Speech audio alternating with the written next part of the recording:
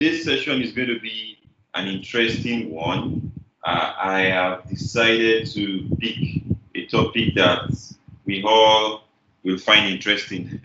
So uh, I noticed in most of my training when we when we do this uh, financial statement analysis, you know, people's eyes light up whenever it comes to analyzing real companies. So I found out that this can be a very good way to help those who also are new to this. So that brings me to the first uh, questionnaire we like us all to fill.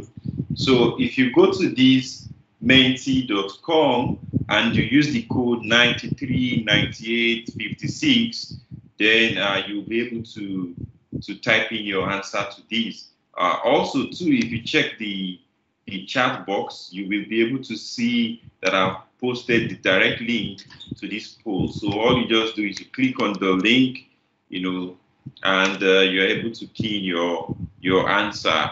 So it's a kind of a scale, you know, two extremes. So one extreme is no, I do not understand. I don't you know, I don't understand income statement. No, I don't understand uh, balance sheet. No, I, so that's one extreme. Then the other extreme end is I'm an expert at this. So you can be in between. You can be at the end of the spectrum, you know, either to the low or to the expert side. So I hope that I get some answers. Maybe if we get like three, that will help me to understand the style I should take in delivering today's session. So I'm I'm waiting for us.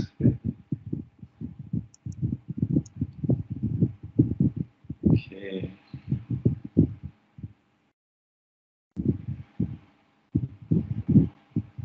Are we on this? Awesome. Awesome. I can see I can see interesting answers pop up. So as for the uh, financial statements, okay, so let's start. As for the, I understand income statement, two people, or how do I interpret this now? Okay, one person has filled, and okay, two people are filled right now, and this kind of averages out all your answers anyway. So it seems. Uh, people here today have some understanding around this, so they are not entirely new. So two people are filled. I'm hoping to see you know one or two more answers, and then I.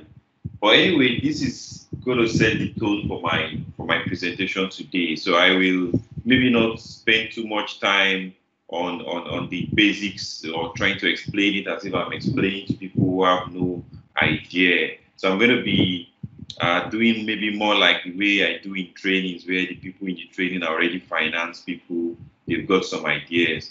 Uh, for those of us joining right now, we want you to fill in this uh, this poll. So just go to menti.com, type 93, 98, 56, and you'll be able to fill in your answer. Or if you check the, the chat box, you know, the chat, you can be able to get the direct link to this poll. And once you click on that link, it takes you here, you fill in your answer, and it will pop up on the screen.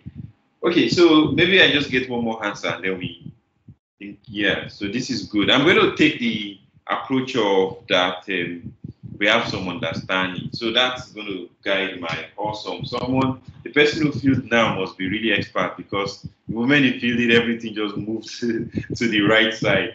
Uh, okay, so thank you very much. And with this, I can go in straight to to the to the main thing. So what I'm going to do, as I've sent in the topic in the slide, I'm going to focus on on real Nigerian companies. So that way, it's going to be both interesting and, and, and educative, right? And uh, I'm going to pick two interesting companies. So I'm going to pick. I already have, uh, you know, by nature of my work and some other products we, we do, I, I already have the stock uh, annual report, financial statements of all the actively trading companies on the Nigerian Stock Exchange. So I'm deciding that I'll do for Dangote Cement and one other. Let's look for maybe Nestle. So I do those two companies. So I'm going to pick Nestle.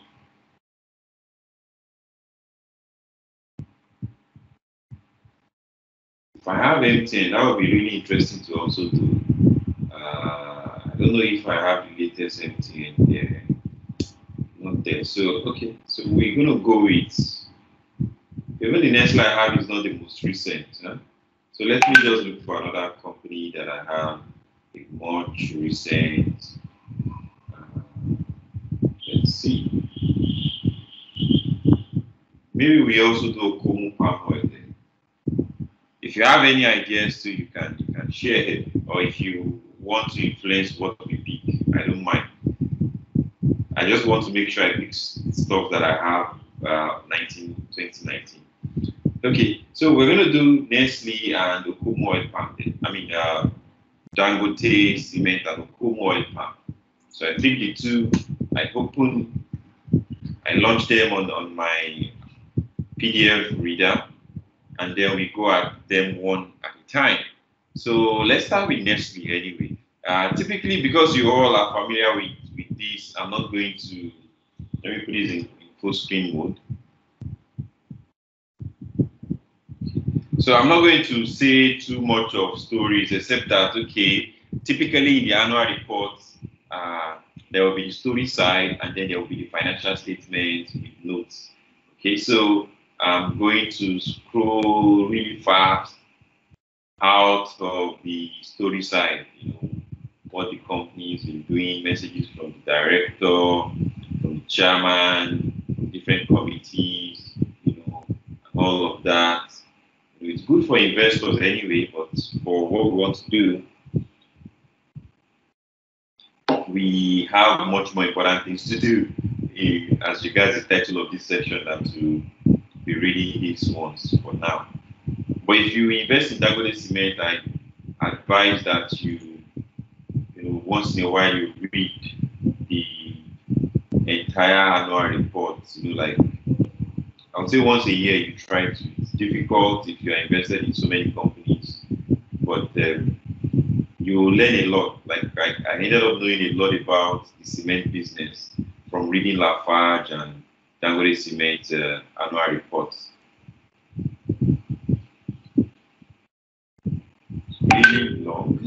So we are almost there. I'm sensing we're almost at the aha. Okay. So now we're there. Uh, I'm going to increase the zoom of my screen. And then I can slowly scroll. So we start with the statement of profit or, or loss, which is also popularly called the income statement. Uh, well, used to be generally called the income statement, but under the IFRS, IFRS standard, is now a statement of profit or loss. All right, so what are the terms that we are seeing right here? Uh, so in this, in the, in the profit or loss statement, right, you, uh, the general pattern is what you're looking at. There's revenue, there's the cost of sales, then totals the gross profit. So let me just uh, pull up my writing pad.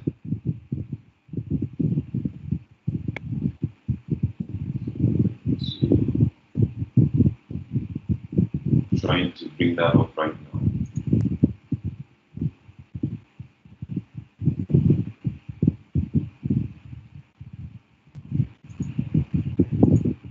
By the way, today's session should be really interactive, which means um, it would be cool if you also, you know, chime in, right? So the statements of profit or loss, which same as income statement, uh, the general pattern in it is as a business. So take a company, for instance, say uh, ABC Limited. Everything the company does generates revenue and expenses, right? And so there's revenue. Uh, now, which you know is sales. Okay, Now, out of this revenue, they need to cover the cost of goods sold, or cost of sales, the raw materials, the so this is an expense, you know.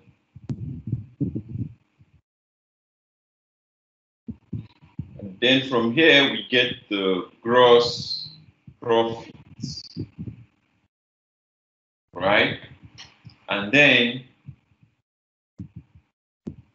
you will now need to factor in your operating expenses, but typically broken down into the distribution and marketing costs, distribution and marketing costs,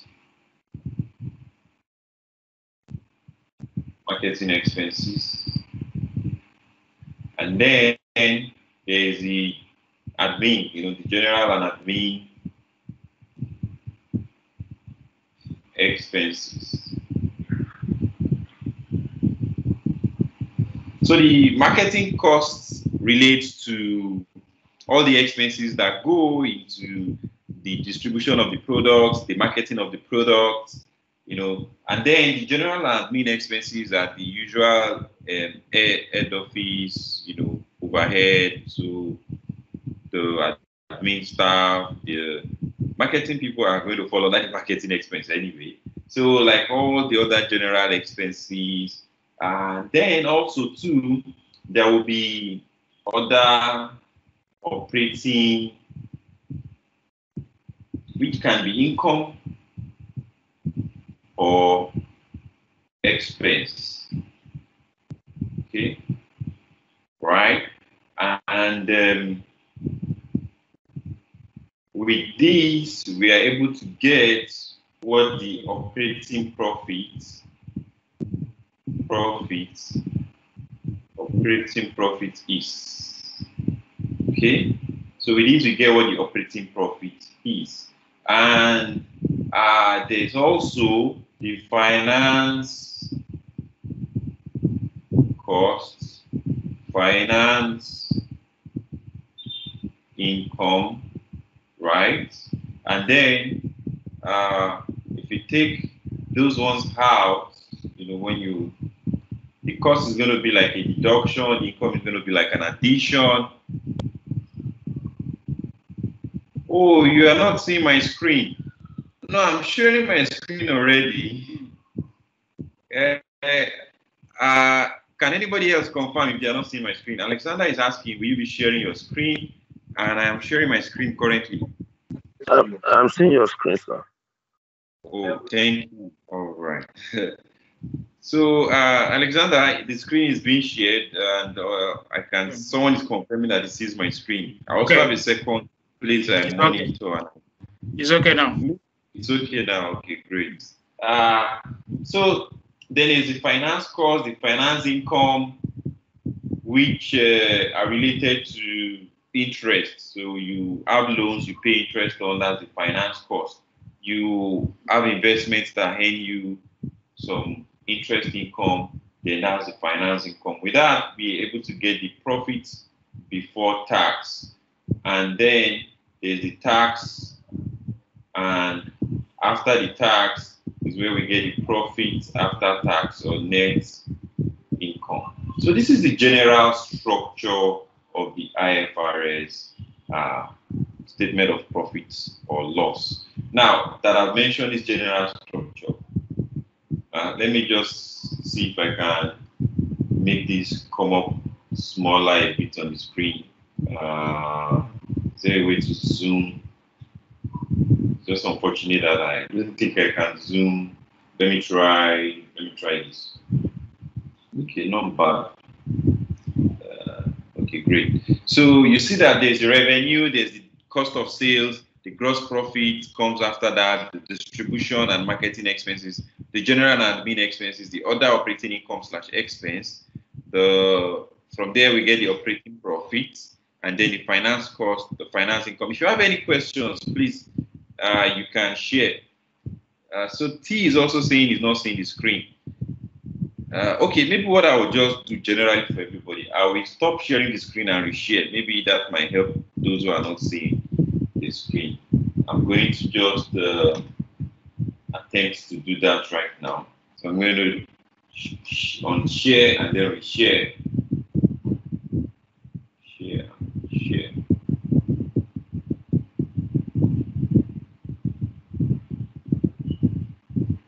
So I stop sharing and then I resume the sharing all again.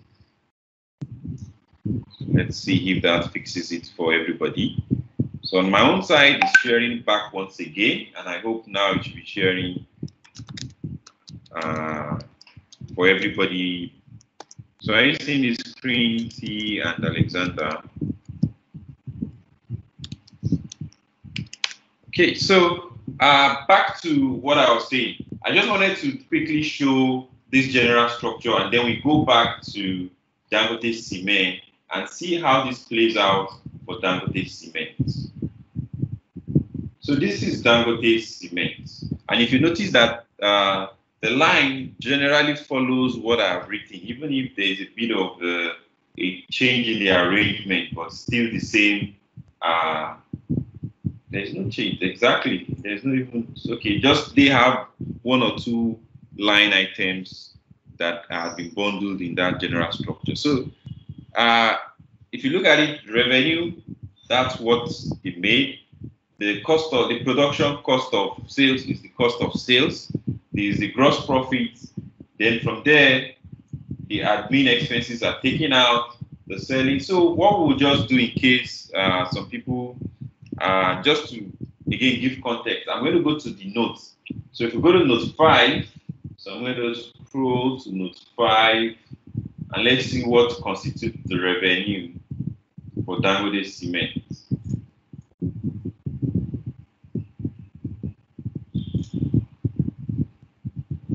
Five.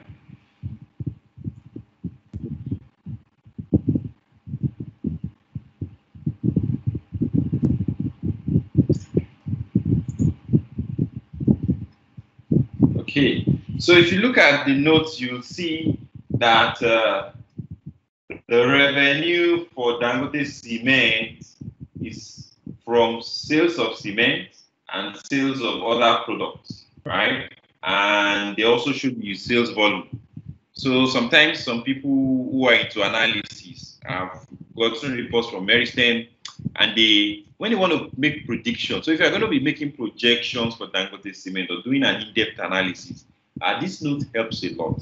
So you're able to estimate what you know what is the industry volume, and then what market share does Dangote have, and then what's the general industry trend. You know, are people saying the cement construction industry is going to grow maybe seven percent year on year for the next seven years?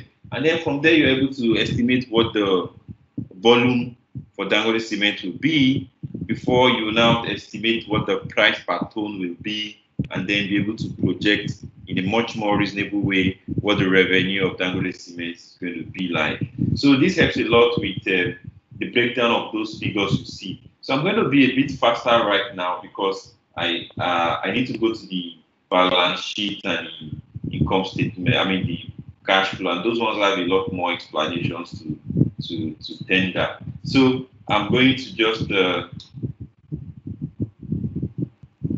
to scroll back.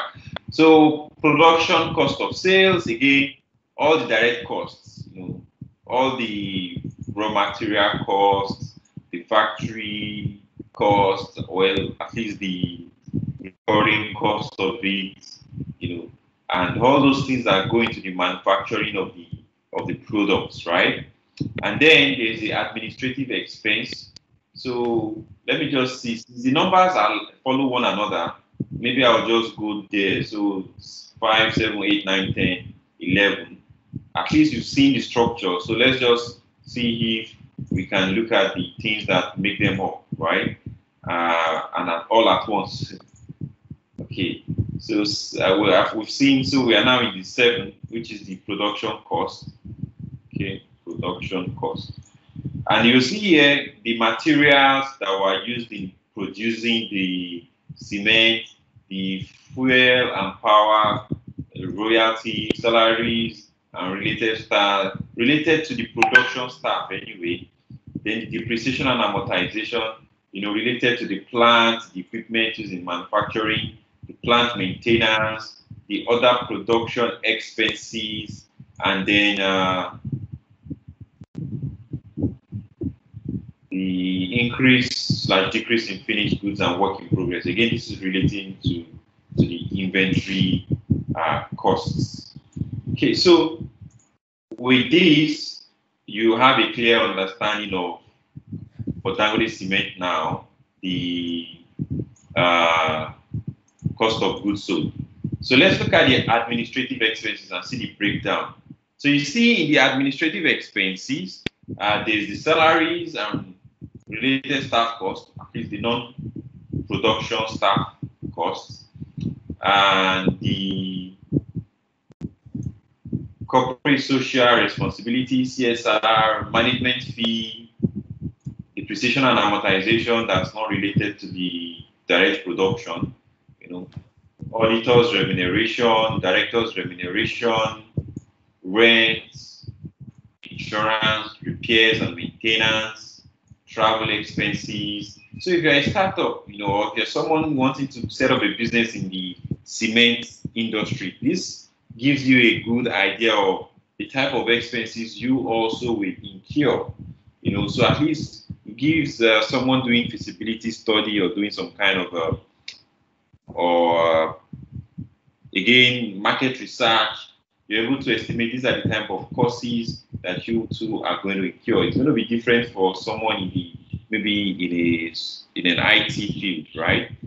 So professional consultancy fee, general admin expenses themselves, orders and write-off on payment. So let's move on to another aspect of the this again are just a few breakdown of some of the general and admin expenses. So let's move on to a different category. So the selling and distributing distribution expenses, right? So salaries related to your marketers, you know, depreciation related to the maybe the marketing vehicles, then advertisement and promotion, distribution expenses like transportation, haulage expenses, and others, right? Okay, so let's see. Then there's the finance income, which is money they make from interest income. Then others that are again related to uh, interest but on foreign denominated securities.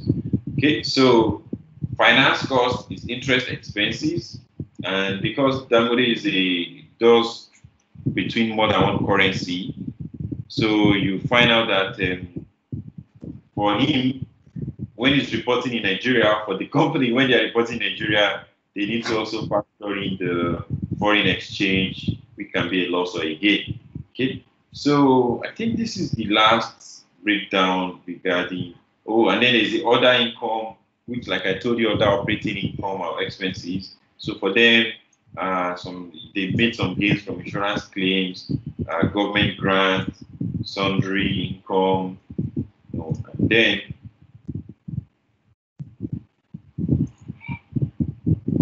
and we're again the profit for the year. Okay, so this has broken down well for us the income and uh, income statement for Dangote Cement. Let's go look at a different company, in fact, in a completely different industry. So I go to Okomu Oil Palm, and if we scroll down and try to check out the income statement, then we see the pattern again replay. Maybe just some uh, differences in specificity. Okay, so if you look at this, here we have the revenue, right? And uh, the way they have theirs arranged is not so nice as the way Dangote Cement has arranged this. But anyway, the information are still there. So there's revenue, then there's the things that make up all those. So you see, what they have in here is actually what made up all the uh, let's this here.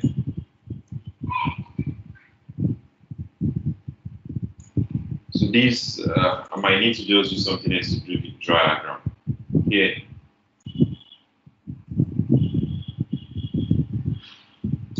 Cost of goods sold. So this is the cost of goods sold. If you notice in Dangote's breakdown, it's very similar, right? So let me just show you that.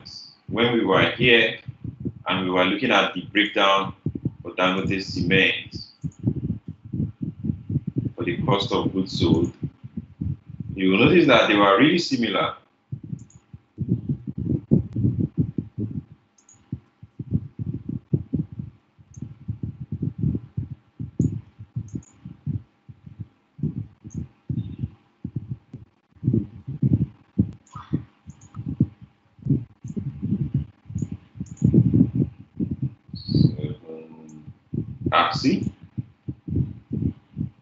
Uh, raw, raw materials consumed, uh, decrease or increase in finished goods.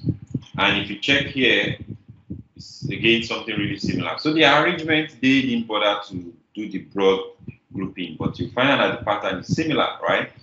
And then uh, the employees' expenses, salaries, so which is like personnel expense salaries, the depreciation on plant and property uh, and equipment, impairment, biological assets, because they are into agricultural production. So uh, they have biological assets anyway. So it's much more common for companies in that space.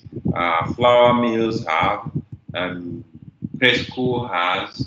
So I noticed that it's something that it's just a, a particular type of asset that they typically will, will, will have. So for them, they, they, they measure whatever the impairments, you know, the depreciation that goes on those ones. So all of these are now the operating expenses, although bundled, or also with the cost of goods sold. So it's not a very nice way they have done it, but the information is still there. And then you see the finance income and then finance costs and this is actually like uh, like another other type of income, like uh, more.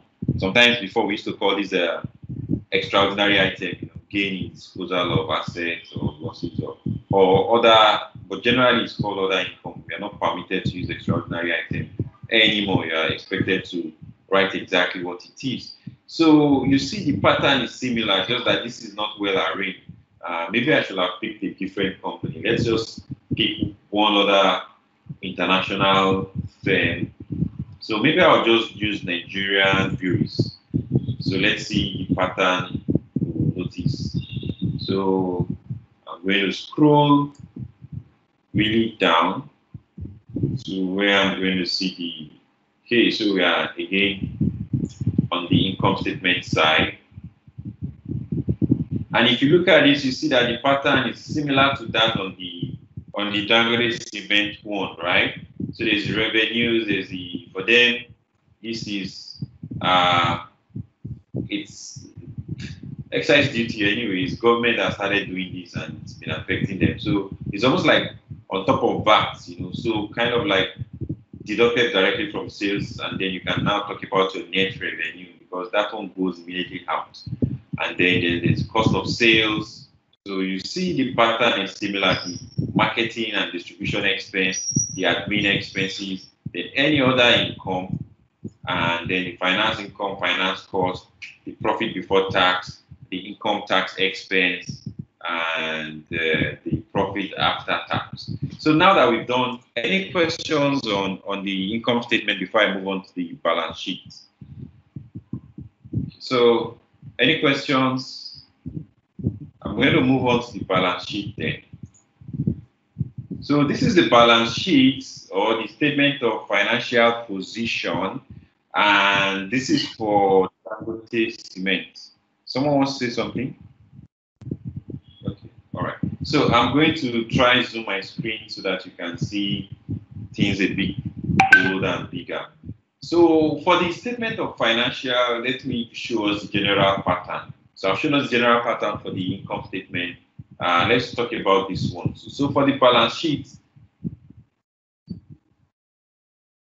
which the fuller name or the much now authorized statement of financial position. So it's it's majorly into these categories of breakdown. The assets further broken down to the non-current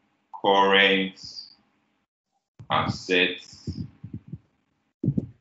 the current assets, and then you equity and we that one doesn't have any uh, any really big categorical breakdown. Then liabilities, which are also broken down into the non-current liabilities and the current liabilities. Okay, so this is the general uh, structure. And then it just becomes a case of listing the items underneath each of these categories.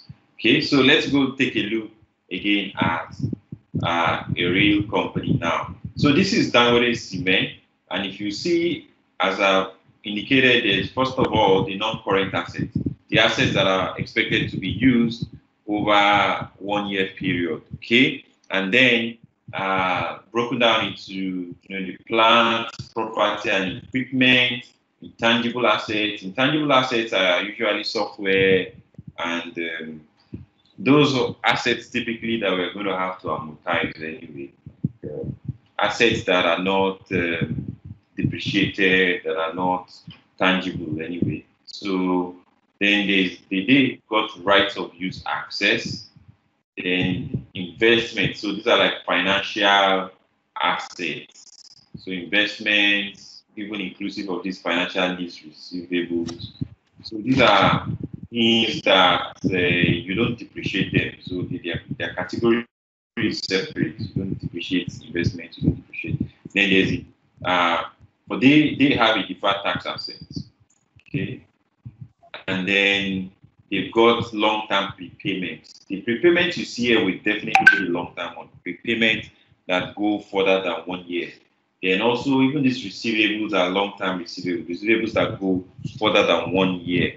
Okay, so and we go now to the current assets. So current assets are those assets you're expected to use up within one year, right? And then there's the inventory, there's the trade and other receivables. Okay, so money that your customers owe you.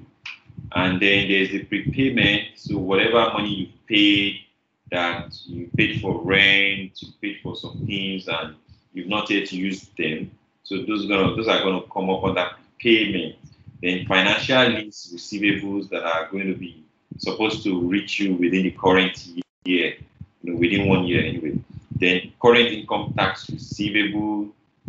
Uh, so they have a current income tax receivable anyway. Then, as usual, cash and cash equivalent, the cash. So this is Dangote Cement, and then we go to the liability side. So the liability side, there's the current liabilities, and then you see the trade and other payables, what you owe your suppliers. Uh, then there's the lease liabilities, so leases that they are the ones to fulfill the obligation anyway. Then the current income tax payable and financial liabilities, so short-term debt, other current liabilities. Okay, so liabilities that do not fall under the broad category. If we go to the notes, they will explain what make up the other current liabilities. Then for the non-current liability, there's the deferred tax liability. This is now like the long term. Um, so they have both on the on the asset side and on the liability side. So there's the deferred tax asset, and they've also got the deferred tax liabilities. Okay. Then there's financial liability long-term debts anyway. So because this is under the non-current, so which means long-term, long-term lease liabilities, long-term provisions, provisions for you know staff retirement, provision for for some benefits, provisions that are going to come up you know, to settle for things that will come up in more than one year. Then deferred revenue, customers are paid for something and uh, you not fulfill the conditions to before you can recognize them as revenue because there's a strict uh, rule to recognition of revenue. Just because I've paid you and you've not rendered the service, I cannot capture that as revenue. So that goes under deferred revenue. They've gotten the money, but they've not rendered the service. Okay, and then we get to the equity side. So there's the share capital, so the authorized share capital, the premium. So these, you know, together actually make the the, the, the these together make the equity uh, contribution per se. Then there's the currency translation reserve because they operate across multiple currencies. So they will need to have, they will definitely have a foreign currency reserve. Otherwise, the balance sheet is not going to balance. So it's going to show the translation across those different currencies. I, I worked on a project for a company that has operations in about 21 countries in Africa, and I was doing their consolidated financials. You know, that helped me to thoroughly understand this foreign currency translation reserve. You know, because different items, like on the income statement, when you're translating, that's a bit straightforward. You use the average uh, exchange rate for the period that you are reporting for. And um, for balance sheets, it's a mixture. You know, some balance sheet items are at historical, some are closing value.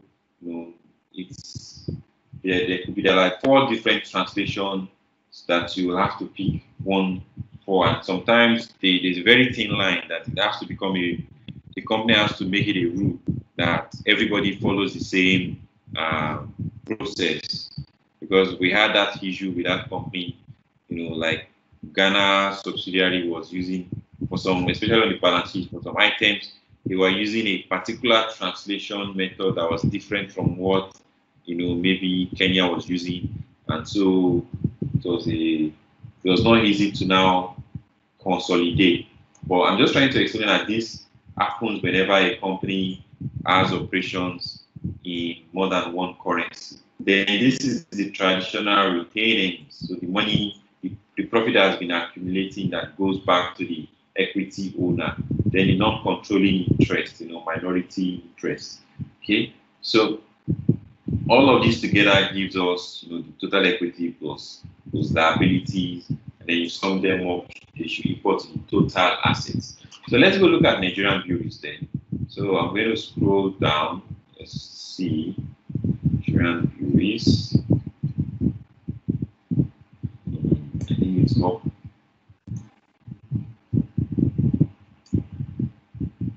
Okay, so for Nigerian Breweries, if you look at it, the assets again, you see similar breakdown.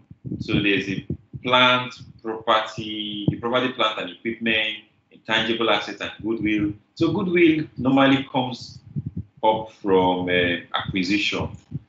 So when they acquire another company, so Nigerian Breweries bought Sona Breweries. Nigerian Breweries bought uh, which other did they buy? Bought, they've been buying a couple of bureaus. Well, it's been a, a long while now anyway, but I know they bought a lot of bureaus at the start of um, towards the end of last decade and start of this decade. So uh, anything above the book value is captured as goodwill. Okay, so that's why they particularly have this goodwill line. Then there is the financial investments, you know, things that are not depreciated in the investment. Then long-term receivables, long-term prepayment. Are you seeing that there's a lot of similarities in the items that exist on both Dangote and, and Nigerian Breweries, even they are in separated industries, right? Then there's the current asset side, inventories, trade and other receivables, prepayment, deposits for imports. So it's a kind of prepayment, but uh, to not mix it up with utilities and some other types. So they broke it down to say deposit for imports and uh, cash and bank, cash and cash equivalents anyway, and assets held for sale. So that together gives us a total assets, and then we the equity side. So this followed very well the uh, one the, the, the, the approach I railroad here, you know, assets then equity and liabilities after. So you notice that how they've done their assets, equity, then liabilities after. So equity, share capital, share premium, then they've got a share-based payment reserve. So like a reserve from which they sometimes so they sometimes do some kind of stock uh, options or stock-based remuneration for their because they typically usually have foreign um, MDs anyway. So they it's a bit of an international practice uh, that maybe you give some kind of share compensation, you know, like, okay, if you guys hit this target, you know, you're going to get uh, X amount of shares, you know, stock options. So this one captures all of that. And sometimes employees too, some category of employees are, are, are entitled based on some on, on some targets or set milestones to get some share-based compensation. Okay, so then the normal retained earnings. And then we go to the liability side where you see the loan, long-term borrowings, anyway, loans and borrowings, which Dangote Cement kept calling them financial liabilities. So they are same, okay? And then employee benefits, so which Dangote Cement called provisions. So this is where those employee benefits fall under for Dangote Cement. And then there is the deferred tax liability.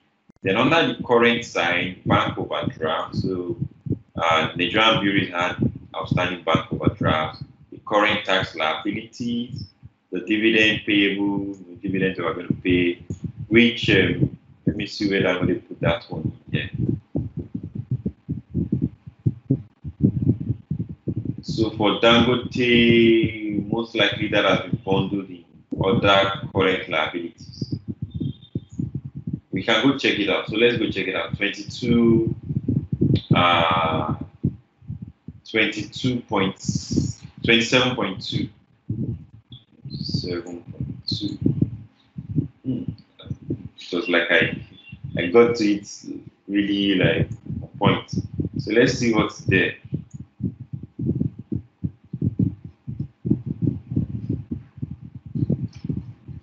Okay, actually that's not what is there. Uh, dividend payable is not what is there in there. They, they have like payment to other subsidiaries. Let's see what they have in other provisions. Let's drag this down, it's fast down.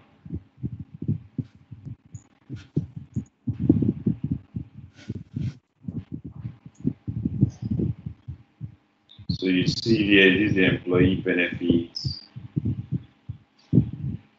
Let's look for where they put the the uh, dividend pay. Except if they are paid didn't declare any as at the time they did the that was outstanding.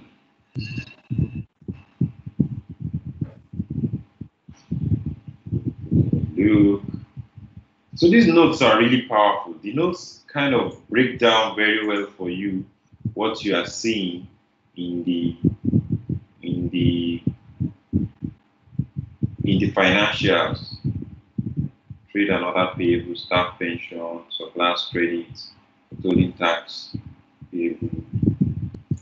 See financial liabilities, loans. I already mentioned that. There's loans that are those. See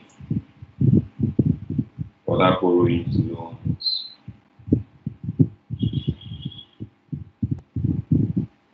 Okay, they do not have dividend payable for them this particular period they were doing this one. So is I can see there's no way here there. But Nigerian Breweries has, so that's why it's India's. Then there's trade and other payable provisions, and voila. So that is it, right? So we now move to cash flow. So I'm going to move to cash flow. And I start first with Dangote Cement.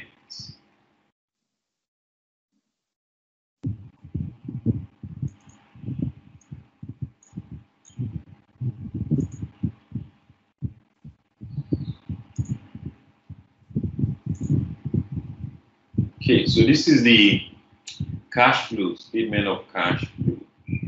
And uh, again, just to quickly give you the general layout. So for cash flow, uh, it's, let me just create a new page.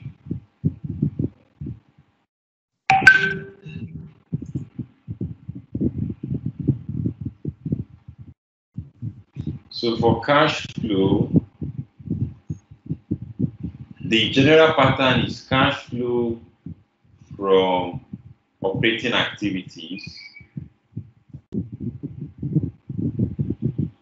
So this kind of capture how the business made money throughout the that year, you know, from their operations. So uh, nowadays is much more generally, uh, let's say, expected that using direct method, which comes from the you know profits, you adjust for then the adjustment, so non-cash adjustment,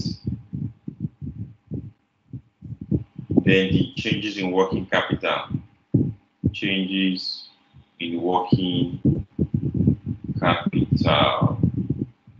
Okay, so pardon my handwriting, it's not easy writing on, on the screen.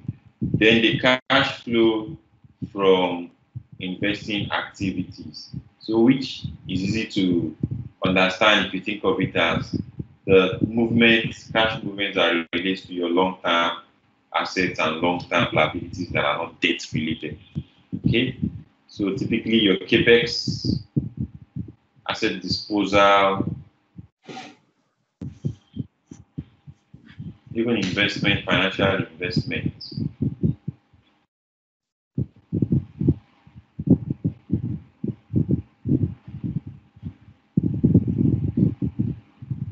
Then things of that nature anyway. Then the cash flow from financing activities.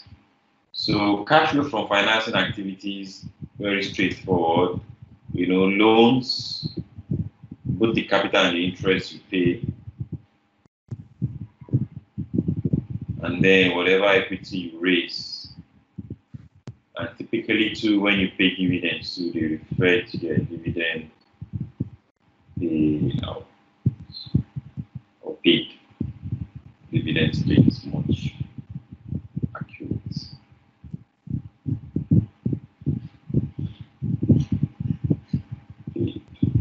So again, if you look at the structure, uh, you will find that this is the very same structure that there is going to be in all those uh, companies' financials. So let's go take a look at Dangote Cement.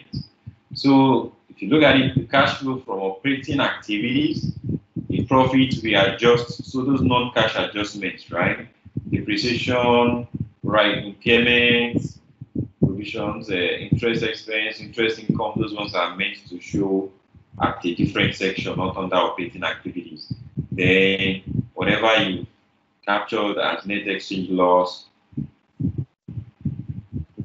income from associate that's going to go under cash flow from investing, amortization of deferred revenue, other provisions. So this one captures all those adjustments anyway, either non-cash adjustments or things that were just adjustments that are not supposed to be in this segment that should be moved to cash flow from financing or investing. So such as the interest expense and interest income.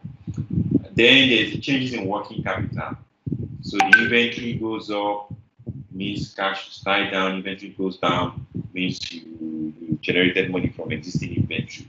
And then, so likewise for receivable, for payable, for prepayment, and all that. Well, every uh, current or, or every current liabilities or current assets, any movement in them typically translate to changes in your cash position. Okay, so that's going to extract out for us the cash from the operating activities. And uh, because uh, if you've taken out the tax that you make provision for and you deduct the tax that you actually paid, you're going to also have eventually, you know, the money movement side of it rather than just what's on your statement, you know, your statement of profit or loss. So that's what this one is doing, showing what we actually paid. Because up here already adjusted for what we took out.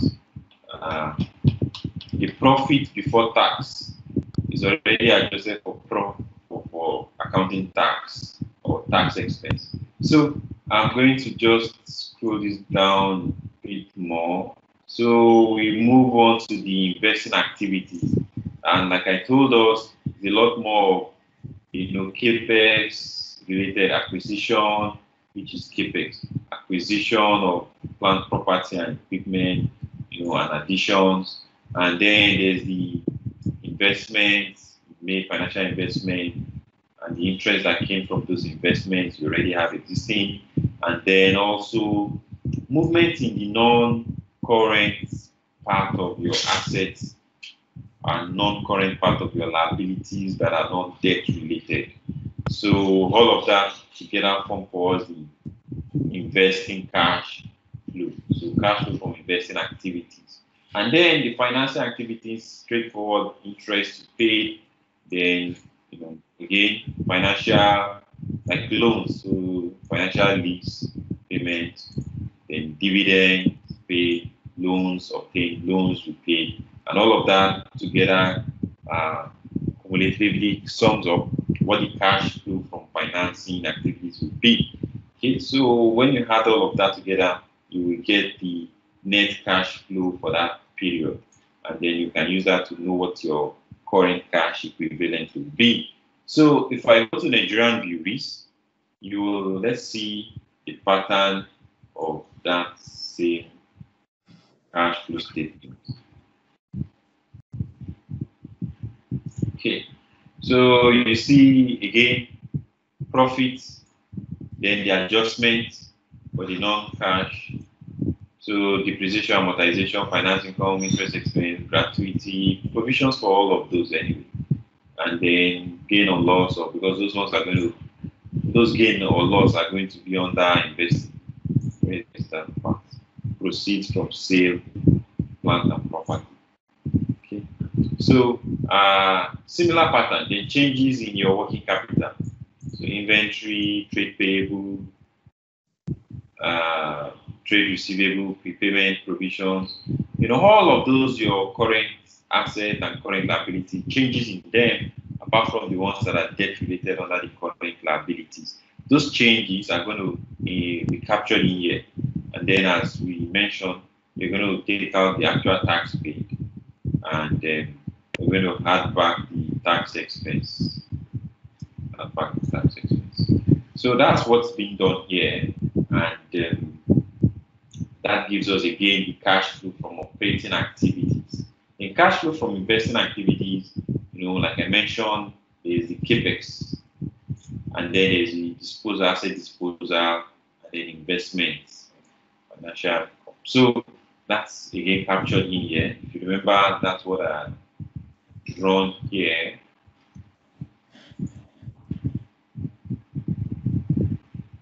Capex, asset disposal, financial investments. So it's a it's that general framework that once you know the general framework, that's what everything typically, you know, breaks down to for every company. And let's look at the financing side. So loans, interest paid, dividends, and then you have the net cash from financing activities. You had everything together to get the net cash flow for that particular year, and that will give your cash position. Okay, so that's it for the cash flow statement. Uh, I don't know really how you all uh, how I just know people are coming and going. so I'm guessing those who are going, maybe it's not really uh, or they already know it, or it's not they're not finding it easy to follow along. But so far, we've covered the three statements. Any questions, anything you want me to go over, any suggestion, any comments, anything you want to add? You know, we have four minutes to do that. Uh, so I'm, I'm, I'm waiting for someone to say something. Hello, Mr. Good afternoon. Good afternoon. Okay, my name is Ayodele Olaside. I just said um, thank you for um, showing us this, uh, trying to show us the structure of the financial statement using real life. Awaken my interest. Thank you. You're welcome. Thank you for that. Uh, any anybody wants to say something else to before we wrap it up?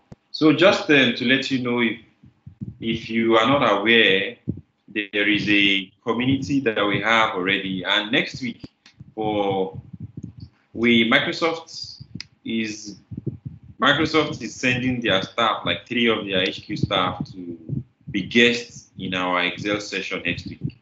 So, you know, I'm, I'm, I'm specially announcing that so that, you know, you can take advantage of it.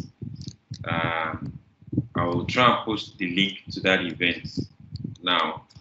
Uh, but first of all, for everybody who is here, we have a community page. So the financial modeling community page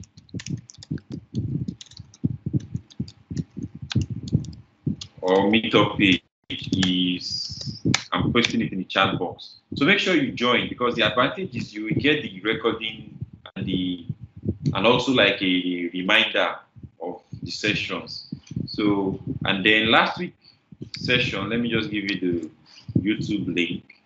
So if you missed last week's session where we talked about CAPM versus APT versus reality, you know, all of these things are related to equity, valuation, cost of equity. So last week's session recording is this, and the Microsoft one I'm mentioning, let me quickly grab for the link. So it would be really nice if you make that one. So because it's a special one, so I'll really be happy if you know they see a fuller house. so the Microsoft special Excel is Excel related anyway. So they want to tell us, show us what they've been doing on Microsoft Excel, the new things they've been adding. In fact, because of that, I decided not to do some like the Excel session we're having four o'clock. I was thinking of showing you there's this new data type in Excel called Wolfram and some new really cool tools in Excel that you know I was planning to think of like, oh, maybe I should show people. I'm like, oh no, let me not show. Let me just let the Microsoft uh, staff tell us all that they have in mind. If they mention it, great. If they did not mention it, then I can mention it in another uh, meetup. But again, this the Microsoft Excel special event is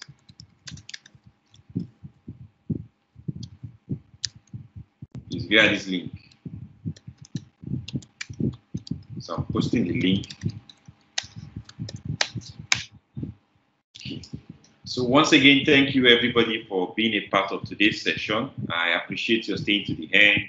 If you have any ideas uh, or if you have suggestions, I'm open to suggestions. You can leave them even after this session, once this meeting closes, you can always still type. And then I think also we are looking for guest speakers. So I'm already trying to get someone for some. But if you want to be a guest speaker for this financial modeling session, it's not necessarily that you have to talk about something technical or Excel.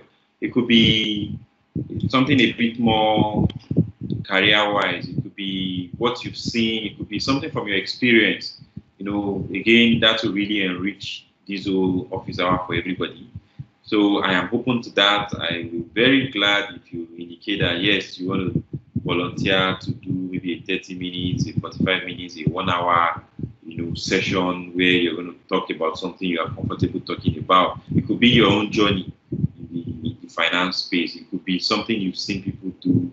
It could be around budgeting, you know, your ideas around how people should do budgeting in, in internal planning and, and it could be whatsoever, you know, there are so many of you who you are much more experienced, you know, in the actual you know, financial analysis more than even me because I'm a consultant. Most of what I do are just fixing an aspect. I'm never really involved in the whole picture. So it's always like, oh, we have an issue in this aspect, let's look for a consultant. And if I'm fortunate, I, I land it. Uh, but not like, oh, Michael, we are making you the CFO. No way. you know, so I don't have that rounded all around the experience around it.